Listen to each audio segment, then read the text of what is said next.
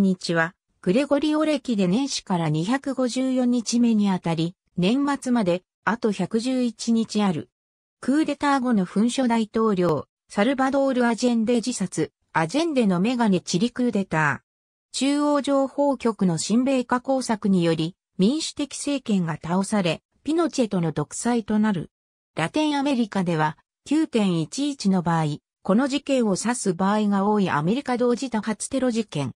ブッシュ大統領の演説を聞く第44回衆議院議員総選挙、優勢民営化を唱えた自民党が圧勝左から魚釣島、北小島、南小島。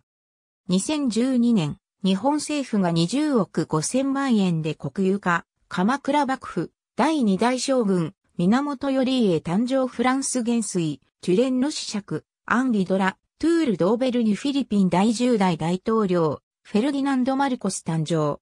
20年間の独裁を敷いたシリア大統領、バッシャール・アル・アサド短編の名手、作家王、ヘンリー誕生。作家、詩人、デイビッド・ハーバート・ローレンス誕生。公家、歌人、藤原帝宝没。第108代天皇、ゴミズノ天皇貴族、ベアトリーチェ・チェンチ、父親殺しのトガで斬首。多くの芸術作品の題材となった政治哲学者、ジェームズ・ハリントン経済学者、デビッド・リカード・ボツ。比較生産施設を唱えたバロックの作曲家、フランソワ・クープランボツ。